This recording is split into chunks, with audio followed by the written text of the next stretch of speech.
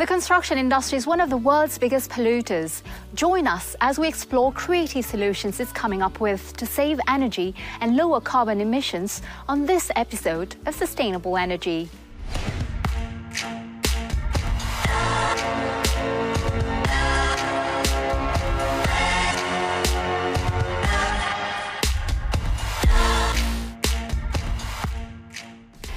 Asha Samput, recording this episode from my neighborhood in eastern France. Like others, our show has been impacted by travel and filming restrictions linked to the spread of COVID 19.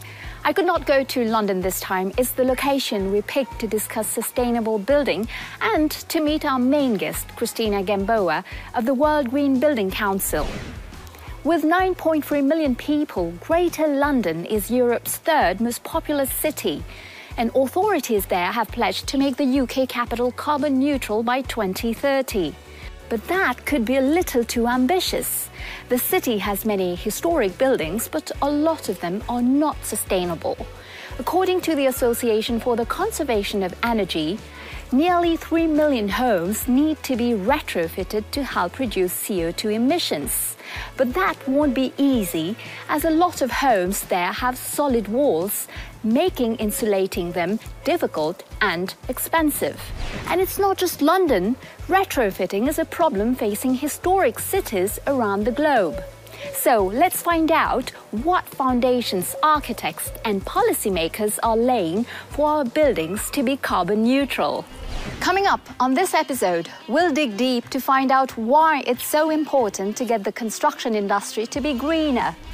Then we take you to Bali, Indonesia, where locals are betting big on bamboo. We are using this material, so we are reducing other material that maybe like uh, need to produce with high energy. And we ask, would you live in a wooden skyscraper? We meet Michael Green, a Canadian architect who thinks wood is the future of sustainable building. Building codes are changing to allow us to build really tall wood buildings. That's a big game changer.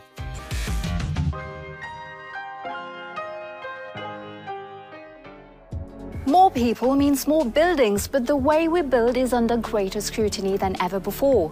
A report from the Global Alliance for Buildings and Construction, the International Energy Agency, and UN say decarbonizing buildings and the construction industry is critical to achieve commitments laid out by the Paris Agreement and the UN Sustainable Development Goals. So, what will tomorrow's buildings look like? James, our roving reporter in London, will be discussing just that with Christina Gamboa, CEO of the World Green Building Council. But first, let's get our facts straight as to why the construction industry needs to change. Building sustainably may no longer be an option, rather a necessity. That's because today buildings and the construction sector are responsible for nearly 40% of global final energy use and process related CO2 emissions. In other words, it takes a lot of energy to heat, cool, light, and maintain our buildings. And the process to build them in the first place is traditionally energy intensive. Did you know that concrete is the most commonly used human made material on Earth? Producing cement, its main ingredient, causes around 8% of the world's total CO2 emissions. So, some intergovernmental agencies say the cement industry has to reduce its annual emissions by at least 16% by 2030. Waste is another big problem. Construction and demolition waste can represent up to 40% of solid waste produced in some cities. It's made of materials from excavation, roadwork and demolition, but also complex waste like plastics, metal, ceramic and cardboard. Construction has also caused some significant water and soil pollution incidents when debris, dirt, oil, paints, and other harmful chemicals leaked into the environment. But a lot of construction materials can be recycled and reused. Some experts say that for any of this to happen, construction companies must be encouraged to separate waste on site and train their staff better. Of course, once constructed, ensuring that buildings are energy efficient is crucial, Energy demand in buildings has increased by 7% in just eight years. So the 2019 Emissions Gap Report says we must reverse the trend by improving energy efficiency in buildings at a rate of 2 to 3% each year by 2025. There are things we can do.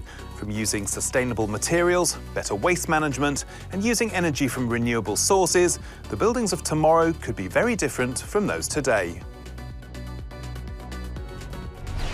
Green roofs, urban agriculture, and rainwater containment are all nature based solutions that many world cities are turning to to help them be more resilient and livable.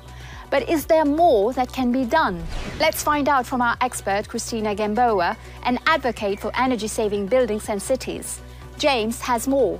Welcome to London's South Bank. You can see behind me the Palace of Westminster. It's currently undergoing a massive renovation project that's hopefully going to make it a little more energy efficient and generally bring it up to scratch. It's a project that could take in excess of a decade. Christina Gamboa, welcome to Sustainable Energy, and particularly whilst we're filming in the middle of the COVID-19 pandemic. So obviously we're taking the relevant precautions. So Christina, question, should we retrofit and renovate or should we just knock it all down and start from scratch? Definitely retrofit is the way forward.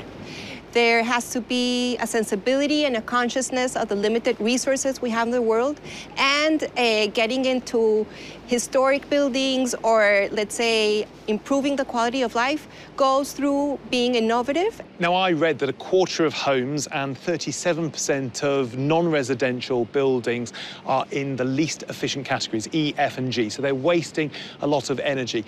Is that a particular situation in London? How are other world cities doing? Unfortunately, government puts out policies, doesn't enforce them, and generally there's lack of skills and education to understand what those rating means.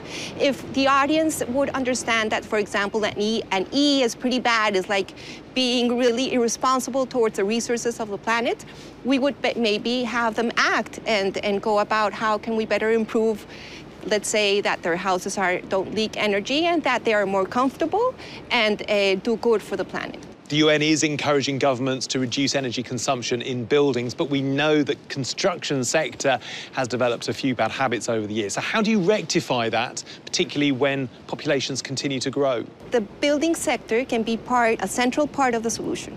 And if the building and construction sector doesn't act now and half at least of its emissions, we're not going to be on track. That's one. So addressing the solutions, bringing them to scale. And second, having business working with city leaders so they can enact better policies that will ensure that their own building stock, their government procurement codes will improve, that energy efficiency policies are enforced, and that we can also have this ambition loop of better signals from policy that this is coming, and then business reacting and also delivering, let's say, an infrastructure and a built environment that is better for people and planet. So do it now because it gets locked in for so long? Yes, because the decision, for example, that you're doing in your designs today is going to be effectively with us for years to come. Let's talk about some positive examples. Which are the world cities that are leading the way? We do have examples from 26 cities that have signed the Net Zero Carbon Buildings Declaration or commitment.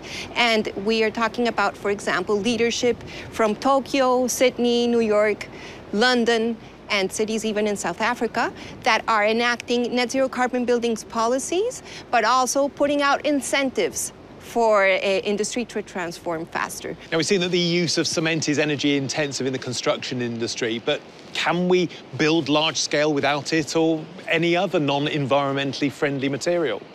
So I think the answer is no. We cannot build without it, right? There has to be solutions that go address climate, people and different geographies around the world. Christina, thank you. And we'll hear more from our expert later on in the programme. Thanks, James. And now, a quick break. When we return, we're off to Bali to look at nature based alternatives to cement. This house, the day that it was completed, it was made out of material none of which existed five or six years before.